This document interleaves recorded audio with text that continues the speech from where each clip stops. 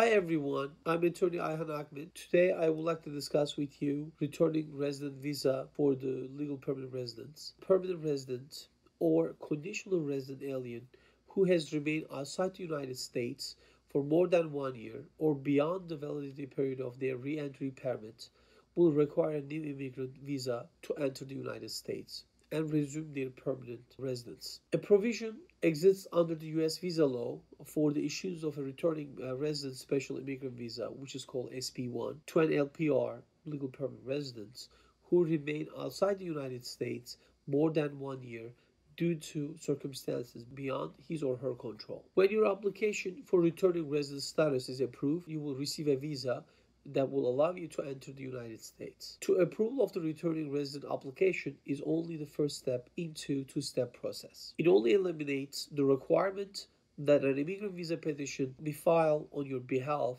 with the Department of Homeland Security, uh, USCIS. You will need to be then interviewed for both your application for returning resident status and at a later date for the actual immigrant visa. An SP1 applicant is required to establish eligibility for an immigrant visa, which includes the payment of the immigrant visa fees, a medical examination, and numerous documentary requirements. If needed, administrative processing might be required.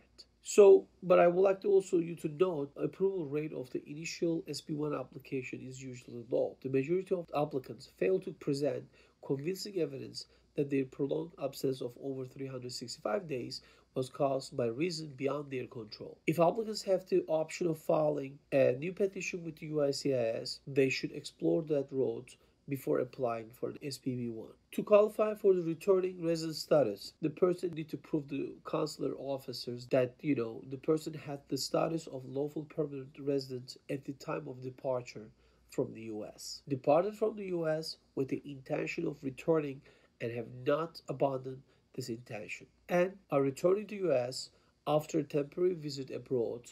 And if the stay abroad was prolonged this was caused by the reason beyond that person control which he or she were not responsible. So if you have any questions regarding returning visa applicants or applications feel free to call our office at 212 245 7070 or shoot us an email at info at agmanlaw.com. Thank you so much.